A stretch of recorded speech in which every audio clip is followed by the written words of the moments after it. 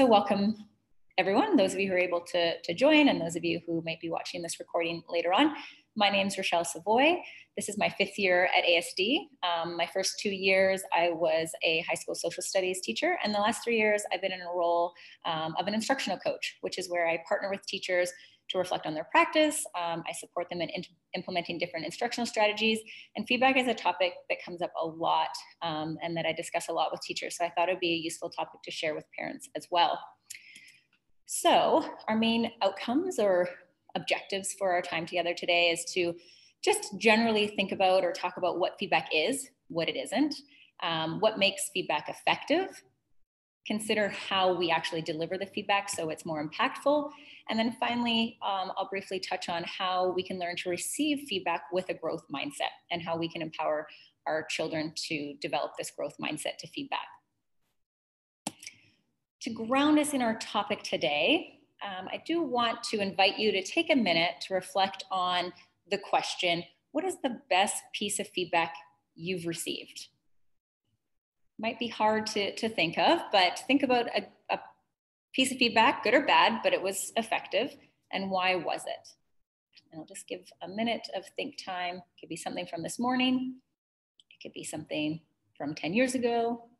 What's a piece of feedback you've received? And if you share that in the chat, and I'm needing to figure out how to access the chat, there it is.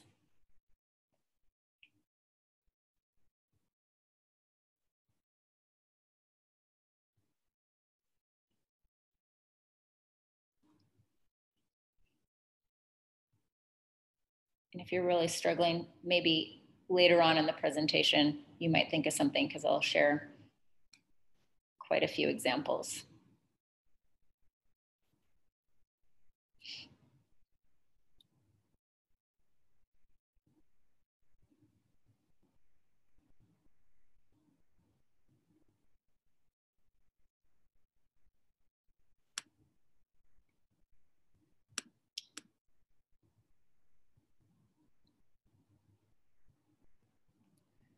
Okay, so participant talked about um, it being actually a conversation and how this how it was styled and, and the message.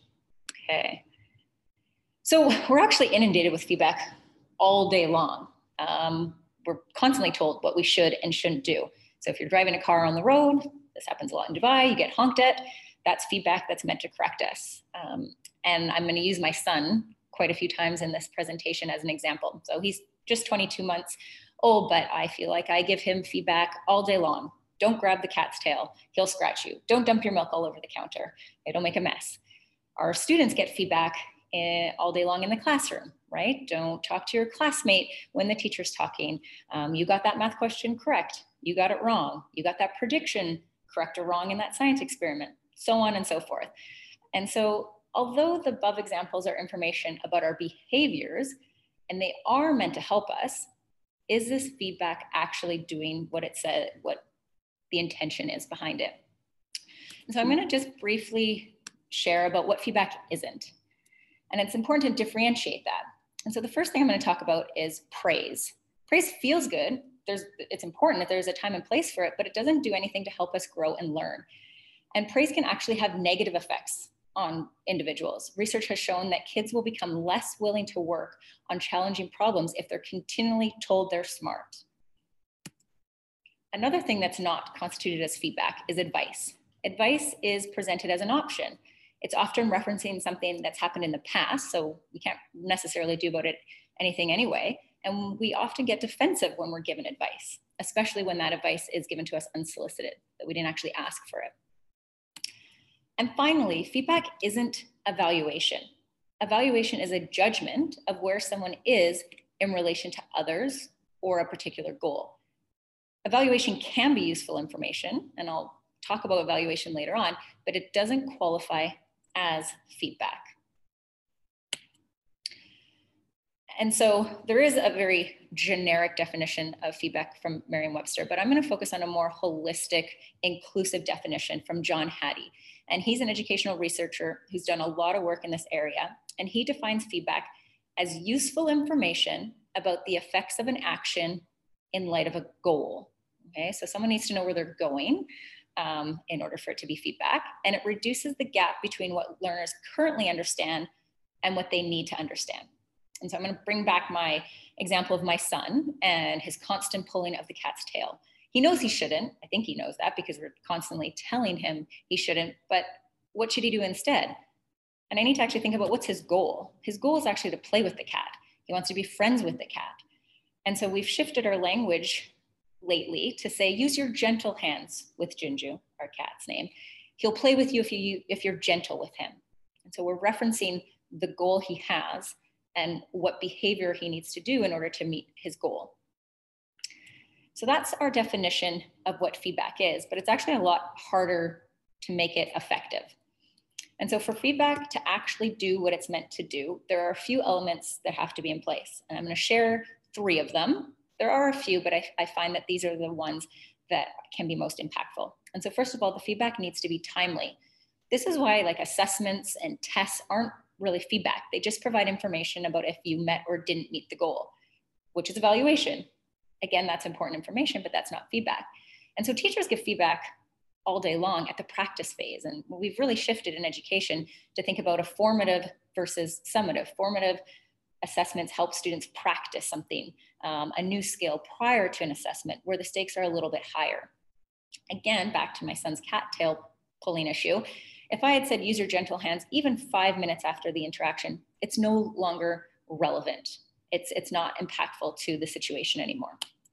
The second um, element of effective feedback is be specific. Oops. Um, there's a limit to how much we can absorb and operationalize in any given time. If there's too much information or if it's too vague, it's confusing, it's overwhelming. We don't know where to start and we'll likely shut down or not take, it won't be effective at all. And so if you're told to focus on just one thing, we're more likely to understand it and act on it. There's a lot of things that I could tell my son to do that could um, make the cat more likely to play with him, such as don't scream and chase him around the house, don't try and hug him. Um, but I'm focusing on the one that will hopefully make sense to him and yield the best results. And although I've already mentioned that praise isn't feedback, I do want to address praise again in this element of feedback um, because when praise is specific, it can actually be effective for learning. And so praise typically is good job, you worked hard on that, um, you know, great work, but that's not really useful. It's a little too vague. But if you start shifting praise to be specific, then that can be more effective. So here's an example. I appreciated your effort in trying many new math problems. At specific, the student knows what they did to be successful and they know what to continue to do to see more success. And the final element of effective feedback is that it focuses on the future. When we hear about flaws that we can't fix anymore because they're in the past and we can't change the past, it creates a feeling of helplessness, a belief that I might always get that wrong or I'll always do that wrong. What's the point? And in the book, The Feedback Fix, which I'll reference a few times this morning, it, the author suggests thinking of feedback as feed forward. What would be helpful in the future? Then that becomes more about motivation. How do I get better the next time I'm in that situation? So instead of, here's an example that they give from the book. So let's say your son or daughter um, always is forgetting the materials for school, and, and likely that might be impacting their performance in class. So instead of saying, oh, you need to remember your materials, or you know, you're you're going to really fall behind if you always forget your laptop or your notebook, etc. Make a plan for the future think about what are strategies you could apply to remember your materials. Come up with a plan. Maybe it's a checklist before you leave the house, uh, on a whiteboard out the door, or um, and then also brainstorm. What do you do if you still forget? What are some solutions? Is there a friend you can ask? Is does the teacher have some extra materials? You know, really thinking about how the student can be successful the next time they're in that situation is more likely to be effective than focusing on what they did in the past. Okay, so I've really, I mean, quickly, briefly talked about what feedback is, what it isn't, what makes it effective and more impactful. I'm going to spend a little bit of time of delivering feedback. And I'm going to use this reference of think like a coach. So when we deliver feedback that's aimed as coaching, we're really trying to help someone learn, grow, or change. Coaching feedback is often considered a facilitative approach to learning. So again, um, in the feedback fix, there's a study highlighted that shows that regular feedback doesn't typically result in a transfer of new skills or habits. But when that feedback is combined with coaching, that transfer skyrockets to 95%. So, what does that look like? Um, and so, likely when you're providing feedback at home, and again, there's feedback in the classroom, and students get that all day long, it's going to look a little different at home. And it's probably about something they're practicing, or it might be the process of learning, um, the process of learning. And so, it's effective to pose questions to help make sense of the feedback. Have them reflect on their learning process, helps them develop metacognition. So they're more aware of why and how they learn and how they can relearn that. And so again, let's what does this look like in context? So maybe you're doing some math problems at home and you notice that your child gets the question wrong. You might ask them the question, well, I got a different answer. How did you get yours? Have them talk through the process that they went through to get to that response, chances are talking through it, they might identify the error that they took. Pose the question, you know, and this can this question can be in any context, not just math um, as a, that we typically reference. But how do you know that answer? Is it reasonable? Could there be another way of exploring this answer? And so again, when we're having students reflect on their learning, um, they become more metacognitive, more aware of their of their learning. So the goal of feedback beyond the classroom, as I referenced, might not be to really get your child to understand what's right or wrong about a content or, or a subject that that has a place at home, um, but it could also be a time to coach your child with their ability to work independently and to experiment with different learning, learning strategies when the stakes are low. So, for example, you may set some goals together um, to think about if, if your child is reading and they get stuck on a word, maybe brainstorm strategies in which they can check their understanding. So, you know, and you could get them to think about some ways. You can offer some suggestions. You could try sounding it out, decoding. You can talk through what the context of the book is to get to see what would make sense. Um, have them reread the sentence, but have them generate these list of strategies and what will be most helpful for them when they get stuck.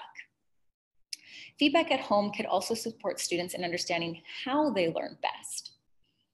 And so, again, really using this facilitative process, pose questions to explore how they best learn. And so you could ask questions like, when do you feel more energized or motivated to complete work? And on weekends, maybe you could experiment, say, let's wake up first thing, do our whatever needs to be done that weekend, and see how they feel and, and talk about that experience. And then maybe the next weekend you try in the afternoon after they've had some fun playing with friends. And so really this is an opportunity to try things out when, when the stakes are low. Other things to con- consider. You know, do I learn best with music? Do I learn best when I'm standing, sitting at a desk, on the floor, on a beanbag chair? And so again, at home, this feedback experience could really look like who am I as a learner how do I best learn? What environment do I thrive in? One thing to remember is that we see, and what we see or think is right is interpreted based on our own experiences, our own preferences, our own priorities. So, you know, the music example, my husband can be very concentrated and focused when there's music in the background. Me, if I really need to focus on something, I, I can't have any outside noise or outside distractions. And so I encourage you to share stories and to model this ability to reflect on your own experiences and understand what you do and why you do it um, and how it works. So your child can hear many different approaches and strategies. And it may not be that that will be useful. It won't, that strategy that's useful for you is useful for them. But the sharing and this modeling of this thinking then becomes a conversation with your child and an inquiry into who you each are and what's unique to you and what might be the same. I'm not able to see if there's questions, so I'm just gonna keep going here. Okay, so we've just talked about delivering feedback in a facilitative approach. And now I'm just gonna spend a little bit of time about receiving feedback. So not only how we learn is very distinct to who we are. We all receive feedback differently. And I'll reference some research a little bit. But regardless of how and who we are and how we're wired, there are two conditions that are important to make feedback even more impactful when we when we are receiving it. We need to have a sense of trust. We are more likely to receive feedback positively from people we trust. And we gain trust when we know people's motivation or their purpose in delivering that feedback. It, it, it's really genuine. And this is where I think it's interesting the role of parent and teacher, right? The teacher gives feedback to the child. The child's pretty clear on their role. Um, and sometimes the parent role can be a little bit more gray, or you know, they might think that you're trying to change them or do what worked for you. And so when you really kind of develop that trust for feedback, you know, there's trust obviously in the parent-child relationship, but that trust for delivering feedback, think about what's your purpose in this? How, how can you deliver this genuinely? A second um, condition that's really important is that we need to feel safe. If we're under stress, we're unlikely to understand or be open to any feedback. And so, back to my son, I think this is a good example. When he is having a meltdown because the cat ran away and, and won't play with him, he it, that's not the time for me to say, "Oh, I told you so." You needed to use your gentle hands. It, it needs to um, that feedback will be received more likely when there is a moment where everything is calm. He feels safe, and and he trusts that we actually want to develop this bond between him and our cat. Okay. Another way to empower students is to really think about how our brains are wired differently and think about how we react to feedback.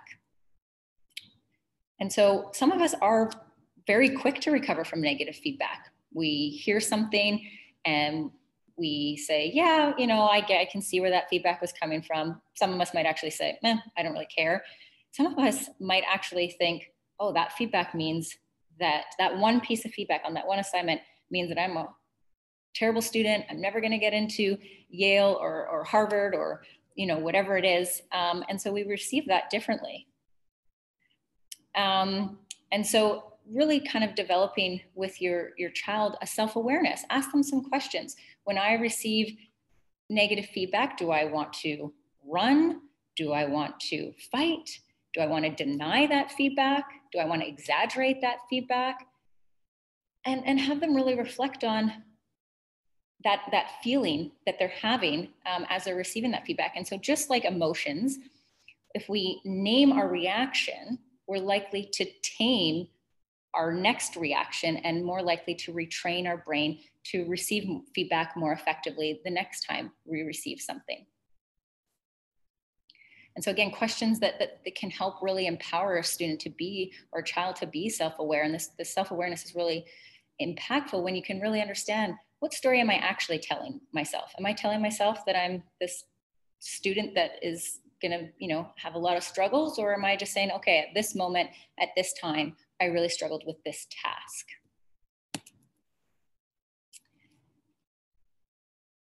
And I do realize that I am kind of going quite quickly through this, but this is sort of the, the final area I wanted to share in terms of empowering your child through feedback. And this is this idea of developing, supporting the development of a growth mindset. So growth mindset might be a familiar term, um, but if not, it's the belief that one's skills and qualities could be cultivated through effort and perseverance. And on, on, the flip side, a negative mind or a fixed mindset is the belief that one's abilities are carved in stone and predetermined at birth. So there's actually been quite a lot of fascinating research in this area. And I do just need to um, X my slide for a second here. Um, I apologize, but I there's some interesting research I want to share.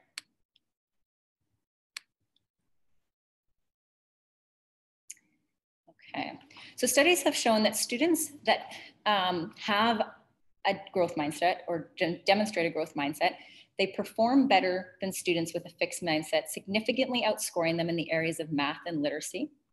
They're more likely to recognize the importance of effort in academic success.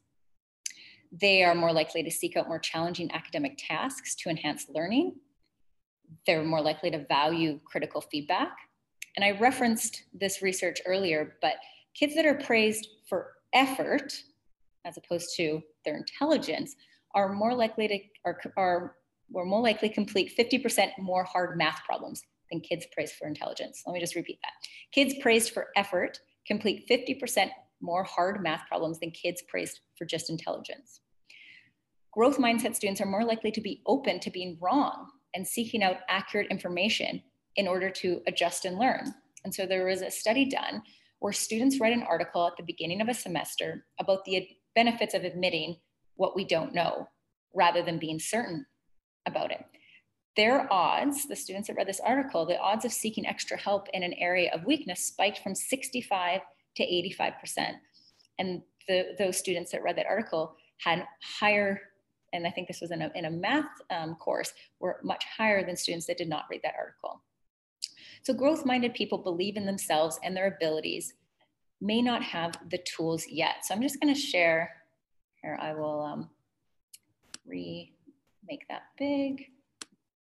Okay. And so a growth minded person might say feedback is helpful. And really to help support our students in developing a growth mindset, it's really just a shift in language um, and a shift in, in what we say. So you might say at the dinner table, what was feedback you received that was helpful today? Reflect on their day through their feedback experiences and then have that dialogue and think about what was helpful about that. And if they can't think of something, you know, what could be helpful? There's some really great language on, on this visual here is that a growth minded individual sees something that's difficult as a lesson, or they see critic instead of seeing it as criticism, they see it as feedback, something that might be too hard as worthwhile. Another thing that a growth mindset doesn't a growth mindset individual does is thinks about the yet. So it's not like I will never get that. I don't understand that yet. And so something that you could say in response to to your child if they do get something wrong, it's that's not right. You don't understand this yet.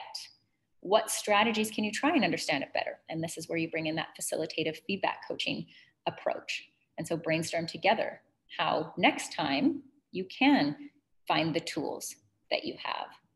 And so um, I wanted to share a resource that I have found really helpful in helping really shift that language because you know we're we're in a culture and we do often hear words that do promote more of a fixed mindset than a support and that support a growth mindset. And so I've been finding this resource interesting um, to support the shifting of language that I'm using. And so I'll share this in the chat um, somehow. Here we go. If that is of use to anyone in this session. At the end, I'm also going to share um, some, some books and some things that I've referenced as well. So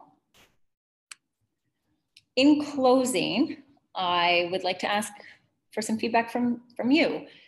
What is something new you are thinking? Or what is something that has challenged how you thought before, um, but maybe are thinking slightly differently about that? Or maybe you still feel challenged by it, but you might want to explore it. You know, why, why am I reacting or why am I thinking that that's not sitting well with me? Or what is something that you might apply today with your interactions with your child? Is there some facilitative coaching questions that you might be able to ask? You may you think about how you might empower your child to think about developing more self-awareness and how they receive feedback. Um, is it shifting some language uh, to be more growth-minded? What is something that you might be able to apply? And so this is a way for me to get feedback on what was hopefully some takeaways for, for you as participants.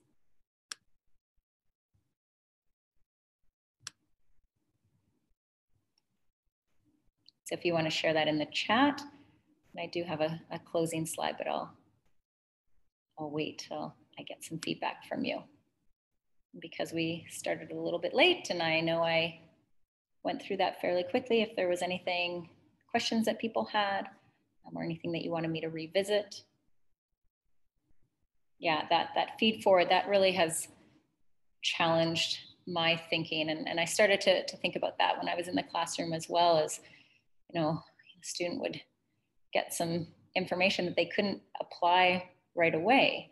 Um, and, and again, in a, in a standards-based learning environment, students do have multiple opportunities to practice the same skills or, or the same um, content. And so they will see it again. How will we ensure that that feedback is impactful for the next time they're in that environment? Well, I thank you for your time. Um, there were four books. I only really named one, which is the feedback fix, but many of the studies that I shared, um, the thanks for the feedback is a resource that I use to think about how we receive feedback, and that was that's been a really impactful book um, for for myself. Mindset. This is where the research for growth minded, um, supporting students to be growth minded comes from. And then there's a new book. This is a pretty recent book, but I've just been digging into it in really how we uh, need to challenge ourselves to think again and be willing and be open um, to accept that we don't know everything and growth minded individuals are more likely to do that and more likely to look at feedback as a way to challenge what they thought they knew and how they can improve in the future or how they can even improve their learning. So that's all I have today. Um, again, thank you for those who are here live. Thank you to those of you who spent time to listen to this back.